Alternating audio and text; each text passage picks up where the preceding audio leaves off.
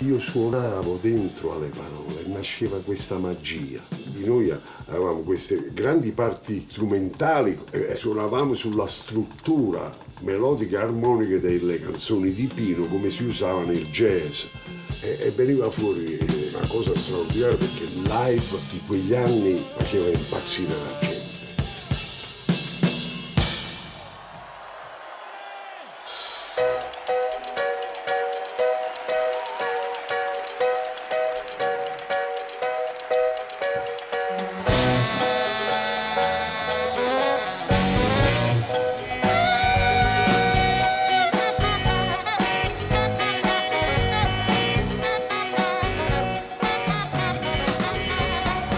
Questa telefonata a casa, no?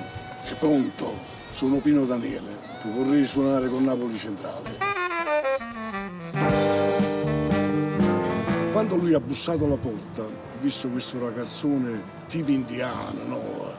Eh, già questo per me era, era positivo, no? Eh, ho detto entra, ci sono Pino, io ho sentito Napoli Centrale, mi fa impazzire. Ho detto senti, noi stiamo cercando un bassista, accatta tu basso a suonare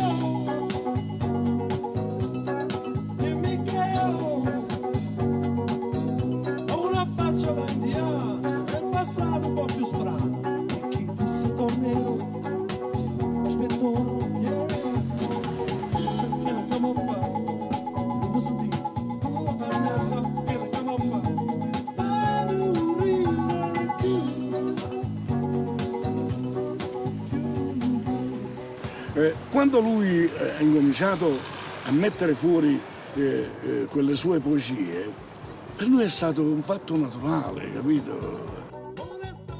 Noi quando facevamo i brani non c'era bisogno di provare, di provare, eravamo già pronti, là solo, là solo, la melodia, la melodia.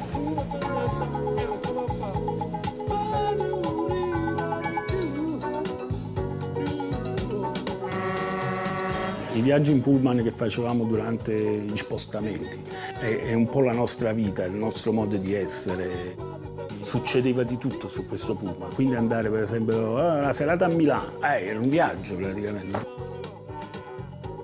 Mi viene in mente anche la, la grande energia di quel periodo, grandi concerti. Insieme abbiamo passato degli anni fantastici poi è successo che ognuno di noi ha avuto dei successi ed era naturale che le strade si separassero. Ci siamo incontrati, ma ci siamo incontrati da amici. Pino ha avuto tante collaborazioni, non solo italiane, tanti musicisti americani, internazionali. Noi abbiamo seguito e inseguito il nostro successo personale. Dopo aver fatto tante esperienze, anche sperimentali, Pino ha deciso di riunire questa grande famiglia, di sedimentare quella collaborazione, come se avesse avuto voglia di storicizzare quell'incontro che per lui è stato formativo, quello è stato anche per noi naturalmente.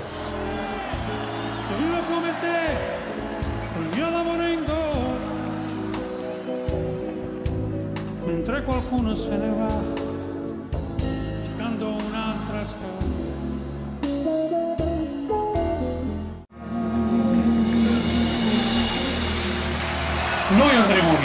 Noi andremo